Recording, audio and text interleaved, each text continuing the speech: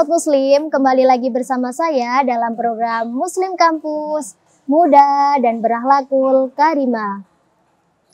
Baik Sobat Muslim, pada segmen pertama kita sudah membahas tentang sejarah Masjid Cinghu. Dan pada segmen kali ini saya akan membahas dan mengupas lebih dalam mengenai filosofi di balik desain arsitektur Masjid Cinghu yang unik ini. Dan nanti akan ada juga sesi tanya jawab bersama para jamaah yang ada di sini. Jadi gini sahabat muslim, masjid ini memiliki desain arsitektur yang unik karena masjid tersebut memadukan antara budaya Indonesia, Arab, dan Cina. Masjid ini juga didominasi oleh empat warna, yaitu merah, kuning, biru, dan hijau. Yang dalam kepercayaan Tionghoa, keempat warna ini adalah simbol dari kebahagiaan, kemasyuran, kemakmuran, dan harapan. Dan masih banyak lagi filosofi yang terkandung di dalamnya.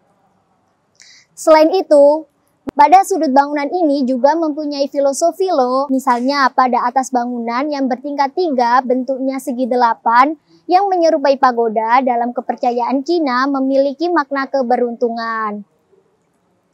Lalu, masjid ini mempunyai ukuran 11 kali 9 meter yang mempunyai filosofi di antaranya angka 11 mengikuti awal ukuran Ka'bah yang dibangun oleh Nabi Ibrahim dan angka 9 yang berasal dari Wali Songo yang mempengaruhi penyebaran Islam di Nusantara. Nah, sobat muslim, pada pelataran masjid ini juga mempunyai banyak informasi. Pada bagian selatan terdapat dinding berbahan marmer berwarna hitam dengan titak emas yang bisa kita baca dan pelajari terkait perjalanan Laksamana Cinggu dalam menyebarkan agama Islam di Nusantara. Selain itu, pada bagian utara terdapat relief Raja Laksamana Cinggu dengan replika kapalnya yang digunakan untuk menyeberangi Samudra India. Oke sahabat muslim, jangan ke mana-mana karena setelah ini akan ada sesi tanya jawab bersama para jamaah yang ada di sini. Halo sahabat muslim, sebelum kita ke sesi tanya jawab, saya akan mau perkenalan dulu nih sama bapaknya yang merupakan salah satu pengunjung dari Masjid Cinggu ini. Baik, halo, halo Bapak, Assalamualaikum. Halo, Waalaikumsalam warahmatullahi wabarakatuh. Saya ingin tahu nama bapaknya dan dari mana? Ya, uh, saya Danang dari Ngawi. Dari Ngawi. Ya. Baik dengan Bapak Danang, apa hmm. kesan hmm. Bapak Danang pertama kali saat melihat Masjid Cinggu ini? Uh, saya baru pertama kali ke sini. Ya. Uh, kesannya terlihat apa ya perpaduan antara Chinese ya, antara Chinese dan Islamnya sangat kental sekali. Apalagi saya juga baru pertama dan sholat di dalam tuh sangat khusyuk sekali. Baik. Sama dengan masjid-masjid yang Islam yang lainnya. Baik, apakah Bapak pernah mengikuti beberapa kegiatan atau acara khusus yang diadakan di Masjid Cinggu ini? Hmm, belum tentunya, karena kan saya juga warga Ngawi dan di sini saya juga sedang jalan-jalan. Ya. Uh, kalau dilihat dari kegiatannya, saya melihat tadi ada beberapa mungkin foto dan lain-lain, karena ada bakti sosial dan lain-lain.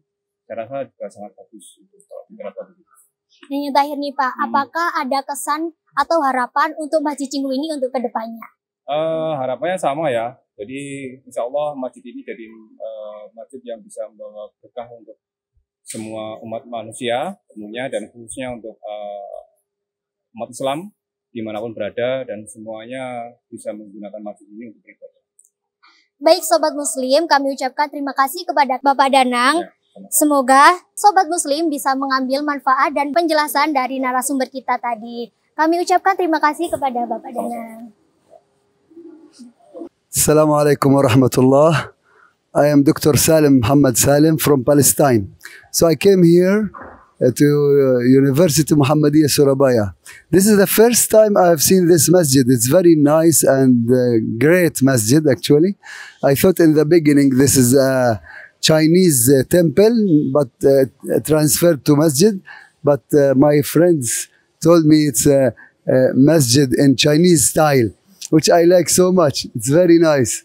Uh, and I hope uh, Indonesia will always uh, be like in, in, in Islam. I mean, dominating Islam.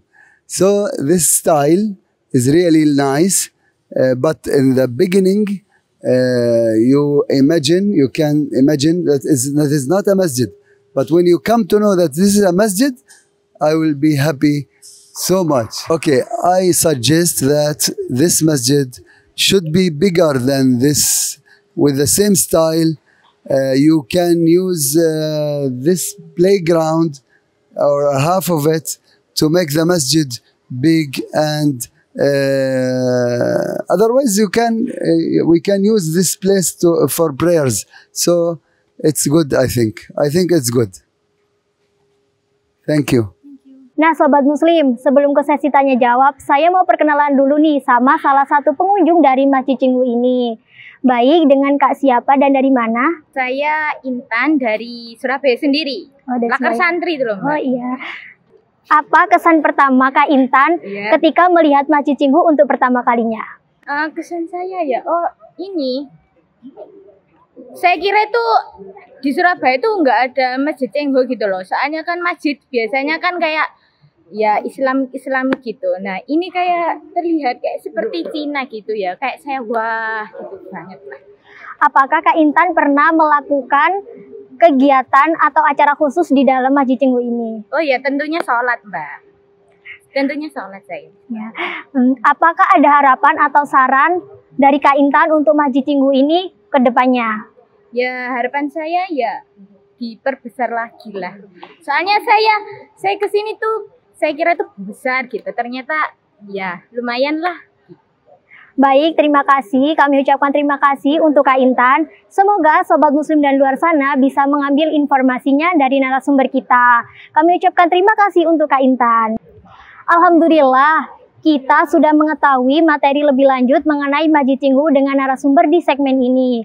Sobat Muslim yang masih ingin tahu tentang Masjid Cinghu, boleh banget nih buat ramain kolom komentar di bawah ini atau bisa langsung datang ke Masjid Cinghu Surabaya untuk merasakan ibadah yang sedikit berbeda dari sebelumnya. Aku Alin, pamit undur diri. Jangan lupa untuk stay tune di segmen selanjutnya karena akan ada pembahasan lebih lanjut mengenai Masjid Cinghu.